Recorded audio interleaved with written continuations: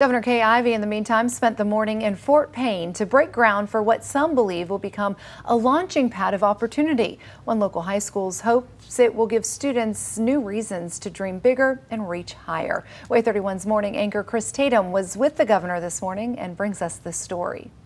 There is no turning back now. This pile of overturned dirt is proof Fort Payne High School is definitely getting its brand new beat center.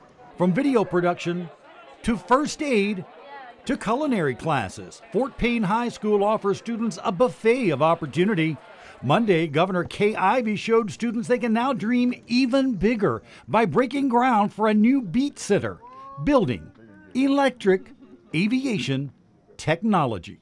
Oh, I would love to work at Tesla. Clark McClung is a Fort Payne High School junior. Figures he'll be long gone by the time the new Beat Center is up and running. And with that uh, electric car course, I mean, it's a straight pathway to working at Tesla. Yep, the Beat Center will teach electric car technology plus construction, even help students get licensed to fly drones. All vocational trades Governor Ivey calls essential to keeping Alabama's workforce and economy strong.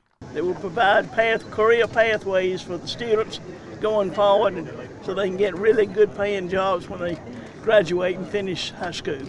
Right now, these students are focused on their futures and on the future students who, thanks to the new Beat Center, will learn new technologies they never dreamt of. Getting this new center is an absolutely amazing opportunity for students coming up from the middle school to have.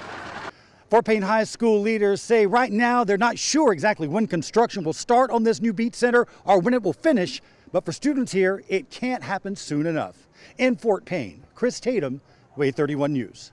After this morning's groundbreaking, Governor Kay Ivey tweeted, quote, in the last five years, we've seen nearly $19 billion in new capital investment and created more than 44,000 new jobs.